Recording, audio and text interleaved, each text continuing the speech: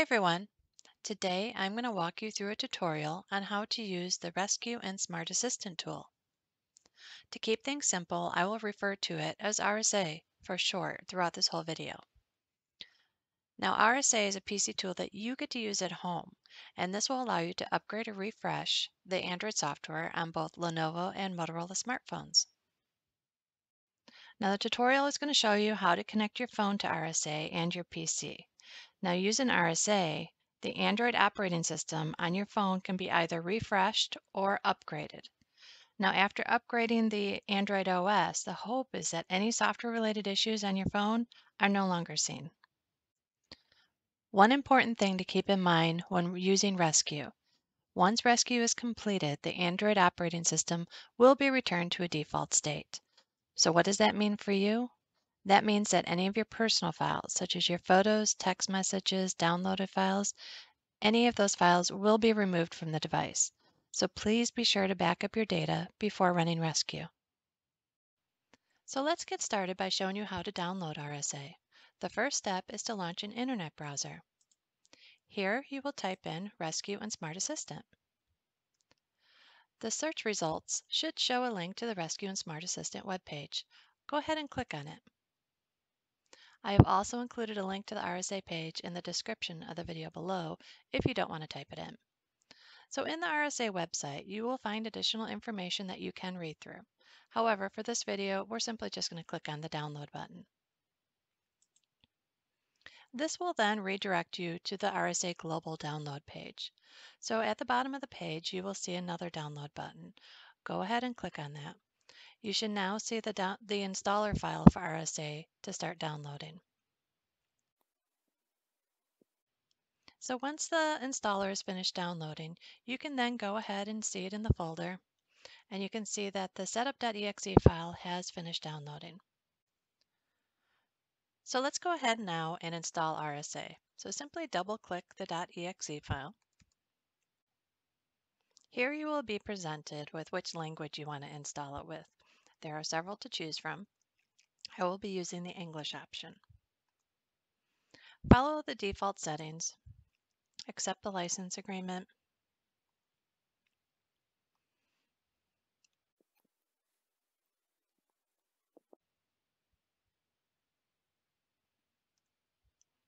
and then once it's finished, go ahead and launch the program.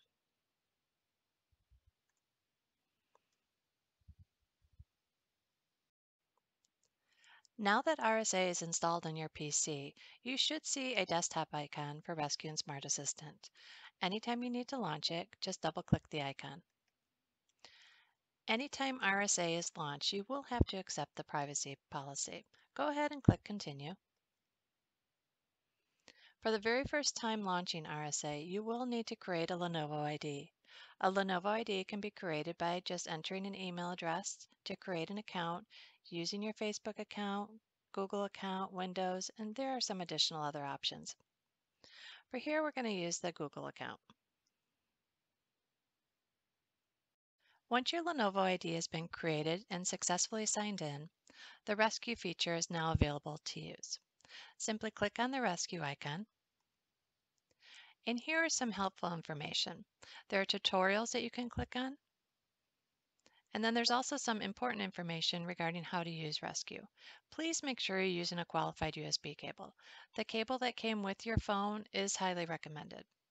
Make sure that your battery is charged to 60% or higher.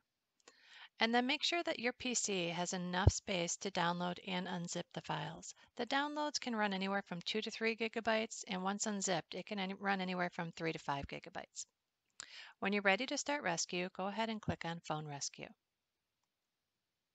Here we're going to walk you through how to connect your phone in fast boot mode. The Android operating system must be in fast boot mode in order to use Rescue. So once you have your cable and your phone available, click the next button. Step one, power off your phone. Once it's powered off, go ahead and click the next button. Step two, connect your USB cable to your PC first. Once it's connected to your PC, go ahead and click the next button. Now here's where it's a little complicated. With you, holding your phone in your hand with your finger, press and hold the volume down key. Once the volume down key is selected, then you're going to connect your USB cable to your phone. Once the USB cable is connected to your phone with the volume down key still pressed, you will eventually see the green Android icon. Once that green Android icon is seen, go ahead and release the volume down button. Once RSA will detect your device in fast boot mode, the screen will automatically switch over to show what your device credentials are. Here it will show model name, your IMEI, serial number, as well as your software version. But what we're interested in here is the firmware that's needed to run Rescue. So go ahead and click on the download button to start downloading the firmware. Now here it'll show um, how much time is remaining for downloading and as well as how much of the file has already downloaded versus what the target download is. The download speed, of course, will depend on your home uh, internet speed. Once your download is completed and it shows zero time left, keep in mind that it still needs to go through the firmware unzip process at this point.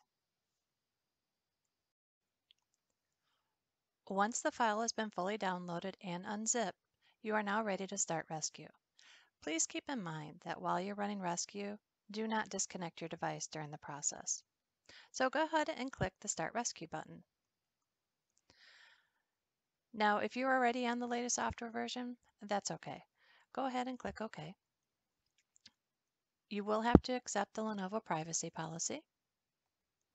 And if you do have any information on your phone that you need to that is not backed up and you need to save it, please be sure to do that before starting Rescue. Rescue will completely erase all user data on your phone. Pictures, contacts, emails, anything downloaded will be removed. It does not touch anything on an SD card, but anything on the phone itself will be erased. Once you're ready, go ahead and click Proceed. During the rescue process, it will show the percent that has been completed, and then it will have a counter, but the count is actually going up. It is not how much time is remaining.